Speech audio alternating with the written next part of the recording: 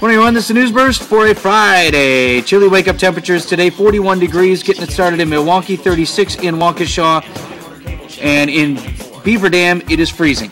I know. 32 degrees to get it started this morning. Uh, the rest of the storm team forecast from Michael Fish, who joins us today.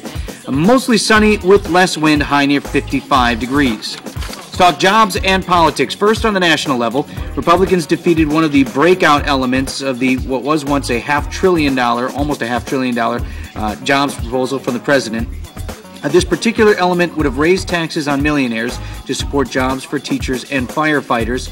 Uh, Democrats argued it would save or create 400,000 much needed jobs. Republicans have argued, yeah, we did this already a couple of years ago with the stimulus package. It bought us about a year, and here we are in the same place again, and continuing to argue that we shouldn't be raising taxes on anyone in this particular economy. Uh, anyway, this is one part of that larger bill. Uh, other provisions will be coming up piecemeal in the coming days.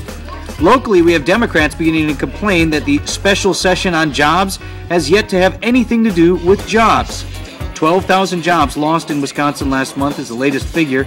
Um, so this is these. We called the special session. It's very important. We need to be working on jobs, and right now the Republican-controlled uh, legislature has passed bills on victims' rights, DNR, hunting, and sex education in schools. Jobs. Jobs are coming. they say, Republicans say, well, we're going to get to the jobs bills. There are plenty of them out there. But again, Democrats saying, if this is a special session on jobs, why aren't we voting on job stuff? Why are there streaks of lightning in first? Mm, is that just, I don't know. We're like all the way along. okay? Fine. MPD's chief of police, Edward Flynn, got a four year contract extension. Nice to see you, Fish. Kind of got emotional yesterday. It was odd from the chief. Said, quote, this was the most positive professional experience of my life. So Chief Flynn is in for another four.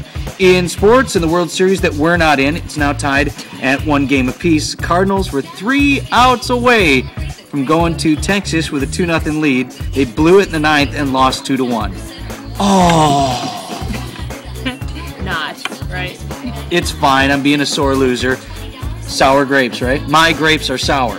They are both very good. I- Right. the games have been excellent. They've been great games. Packers uh, Vikings Sunday with the 3:15 game. Uh, we got a pound on that rookie. He's getting the start for Minnesota. And the Badgers with their first road game and biggest test of the season so far as they get set to take on Michigan State in a prime time affair. Also, the state of Michigan is where Badger trains go to die, at least so far. So let's fix it. Come on, Bucky, fix it.